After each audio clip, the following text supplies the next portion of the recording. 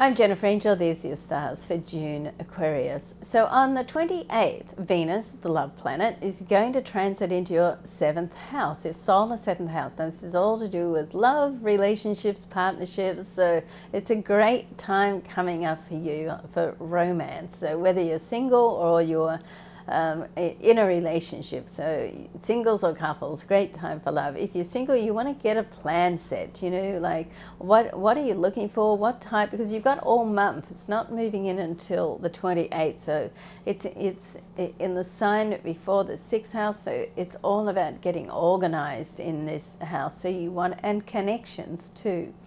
So you want to get yourself organized with love. I mean, you know, goals and business plans are just not for business, they're for your personal life as well.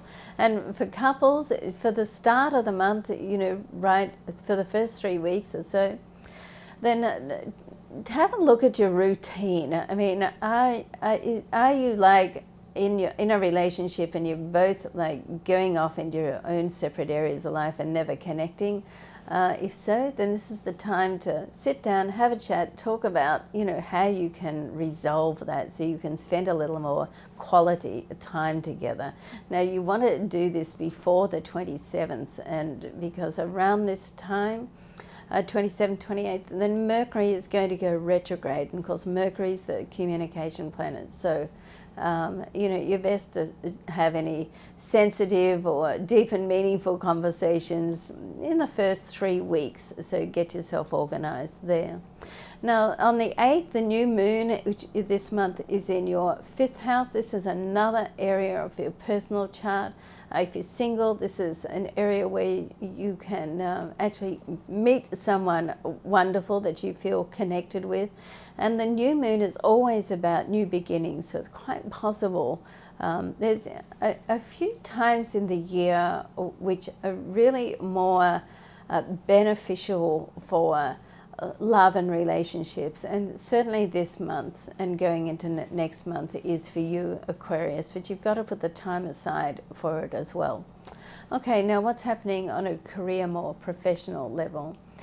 Now there's an abundance of planets are going to move to your sixth house so you want to get organized with your work. So um, the sixth house is really to do with work. It's also to do with your health but it's more to do with routines and setting up procedures. So your work plan can feel like you know just swamped. So your time management is very important. So you know if somebody or something is not high, on the high level importance of your deadlines or priority then fall it to the bottom you know let it fall to the bottom of the list. And just because somebody calls you or texts or emails it doesn't mean to say you have to reply straight away. And sometimes you don't have to reply at all. So you know don't be a slave to your technology. And you want to be careful uh, this month with overdoing it on your health as well. I mean, you want to look after you. I mean, when when the sixth house is very busy, it can just tempt you to simply do too much. And when you do that, the body has like I believe, an automatic balancing effect. Like, you know, you may just get a cold or feel tired or, or uh, something like that or stub your toe or whatever, but it, something will happen just for you to step back, uh, reassess and start to look after yourself a little better, okay?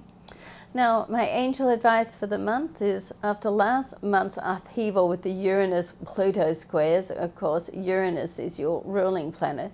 Try to be kind to yourself this month. So, you know, look after you, be kind to yourself, do something special that's, you know, going to, going to nurture you, okay? Because it's not always about being there for other people. Sometimes, Aquarius, you just simply have to be there for you.